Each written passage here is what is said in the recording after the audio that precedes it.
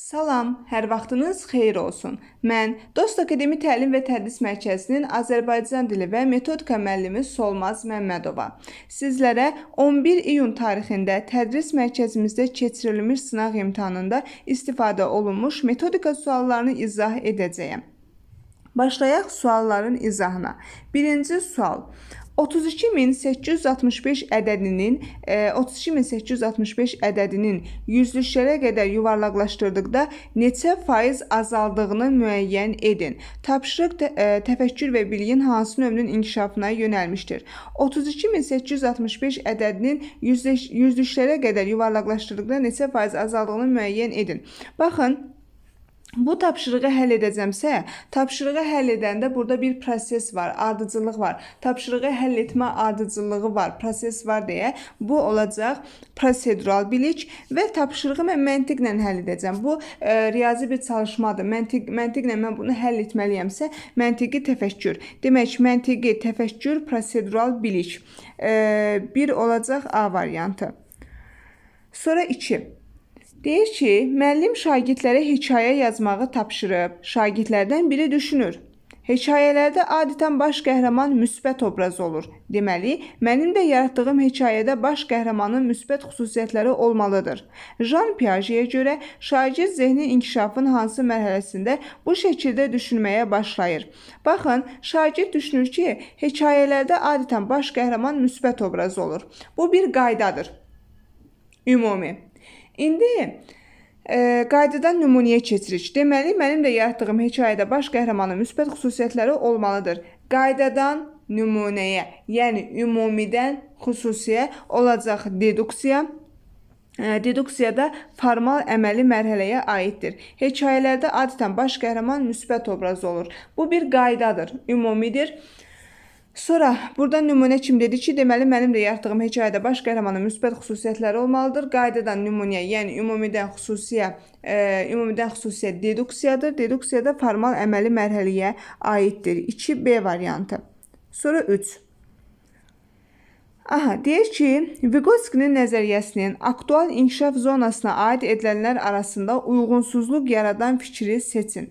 Şagird gündəlik dərsləri, verilmiş təlim tapşırıqlarını müstəqil surətdə yerinə yetirir. Daha sonra özü başqasının köməyi olmadan dərsdə müvafiq materiallardan istifadə edir. Əqli inkişaf elə bir səviyyəyə çata bilər ki, sonralar hər hansı bir məsələni heç kimə ehtiyacı olmadan həll edə bilir. Bilikləri müstəqil mənimsəyir. Bunlar Vygotsky nəzəriyyəsinin aktual inkişaf zonasına aid edilənlər arasında doğru fikirlərdir.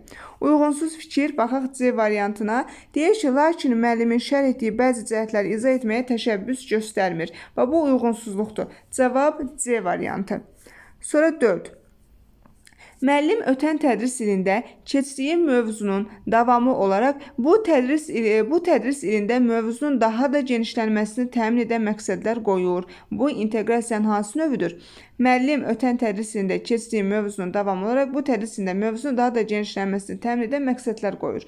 Məsələn, mən keçən il keçmişəm şagirdlərə e, isim, e, ismin məsuliyyətə görə dəyişməsi. Bu il artıq keçirəm tutaq ki, ismin hallanmasına.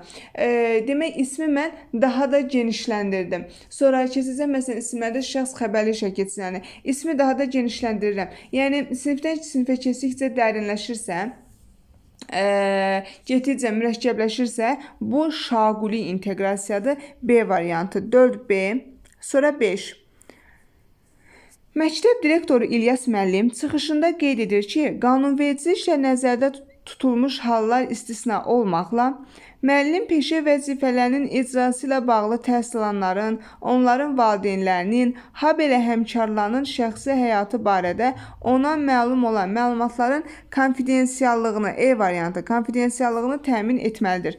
D nöqtələrin yerində müəllimin hansı etik davranış prinsipini ifadə edən söz yazılmalıdır? Konfidensiallıq. Cavab E variantıdır. Çünki Baxın deyir ki, qanunla, qanunvericiliklə nəzərdə tutulmuş hallar istisna olmaqla valideynlərin, həmkarlarının şəxsi həyatı barədə məlum olan məlumatların konfidensiallığını təmin etməlidir. Yəni gizliliyi təmin etməlidir, gizliliyi qorumalıdır. Cavab E variantıdır. Sonra 6. Karl Dweck'in çeviç zəka nəzəriyyəsini ifadə edən söz birləşməsini seçin.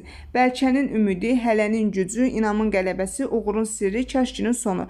Çeviç zəka, yəni inkişafa açıq düşüncə tərzi. Çevik zəka inkişaf inkişafa açıq düşüncə tərzi. Çevik zəka inkişafa açıq ə, düşüncə tərzinə də aiddir nə? Hələnin gücü, yəni hələ bacarmıram, amma bacaracağam. Cavab e, B variantıdır. Sonra 7. Müəllim esse yazdırır və özünü qiymətləndirməni təmin etmək üçün şagirdlərə rubrik təqdim edir. Şagirdlər rubrikdən istifadə edərək özlərinin güclü və zəif tərəflərini müəyyənləşdirə bilirlər. Bu, şagirdlərdə biliyin hansı növünün inkişafına xidmət edir. Özünün güclü və zəif tərəflərini müəyyənləşdirməsi metakognitiv bilikdir. Cavab A variantı. Metakognitiv A. Bəli, 7A. Sonra 8. Deyir ki, Qərarlar ağacı iş üsuluna aiddir. Təklif olunan həll yolunun müsbət tərəflərinin mənfi tərəflərindən çox olmasını tələb edir. Qruplar şəklində problem həll etmə bacarığını inkişaf etdirir. Bəli, e, müsbət tərəflərinin mənfi tərəflərindən çox olmasını tələb edir. Bu cümləni gördüksə bu bizim açar sözümüz olsun. Bu qərarlar ağacı iş üsuluna aiddir. Mənfi müsbət tərəfləri e, varsa bu qərarlar ağacı. Cavab A variantıdır. 8A 9 Xüsusi isimlər mövzusu alt standartın reallaşmasına xidmət edir. Xüsusi isimlər mövzusu alt standartın reallaşmasına xidmət edir. Aha, görək ə, hansıdır burada alt standartımız.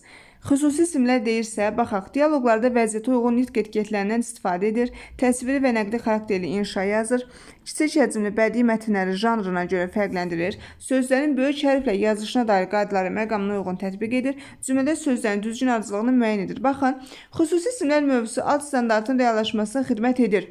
Deyir ki, xüsusi isim nədir? e, sözün böyük hərflə yazılması, yazılması. Demək cavab D variantıdır. Sözlərin böyük hərflə yazılışına dair qaydaları məqamına uyğun tətbiq edir. 9D. 10. Açıq sualları müəyyənləşdirin. Nizami Gəncəvinin ədalətli hökmdar ideyasının əks, əks olunduğu əsər hansıdır? Bu qapalı sualdır. Qafiyə nədir? Ən çox nədə istifadə olunur? Bu da qapalı sualdır. Fikrincə dünyada qadın hüquqsuzluğunu necə aradan qaldırmaq olar? Bu açıq sualdır. Heydər Babaya Salam əsərindən verilmiş parçada şeytanlıq qurğusu ifadəsinə münasibət bildirin. Bu da açıq sualdır. 3, 4, 3, 4 D variantı 10D 11. Sadə xronoloji məsələləri həll edir. Verilmiş standartı bilik və fəaliyyətə ayırın. Baxın, sadə xronoloji məsələləri həll edir. Sadə xronoloji məsələləri həll edirsə, ümumiyyətlə məsələ həll edirsə, burada bir proses var, ardıcıllıq var. Məsələ həll edirsə, burada bir proses var, ardıcıllıq var. Ona görə olacaq prosedural bilik. E, fəaliyyət olaraq isə idraki fəaliyyət B variantı. 11B